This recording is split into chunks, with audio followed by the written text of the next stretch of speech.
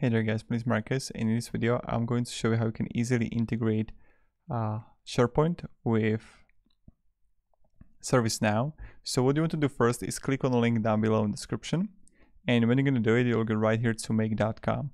You have option to sign for free Gmail, Facebook and make.com is amazing company it's going to help you integrate and combine various applications and what you want to do is just a team go to scenario Then when you're going to be in scenario, you want to go to top right and click create a new scenario.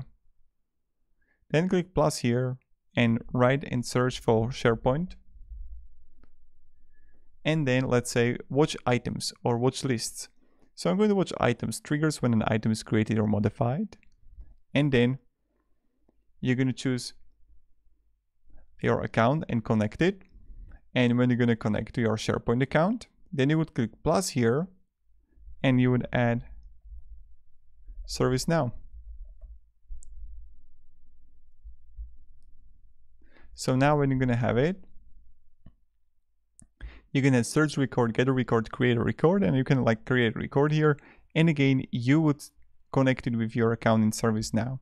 Then you can on the bottom click easily save. On the bottom left, you can run it once multiple times. You can schedule the settings here. So that's something you can do. And that's pretty much it, right? So if you're going to need help with your scenario, what you can do is to message to make.com with technical issue scenario and paste them your scenario and they're going to help you with. So you can paste the description and if something is not working, you can easily paste it. But in my opinion, this is like pretty straightforward how we can do it and how we can use it. And that's pretty much it. So thank you very much guys for watching and have a great day and goodbye. See ya.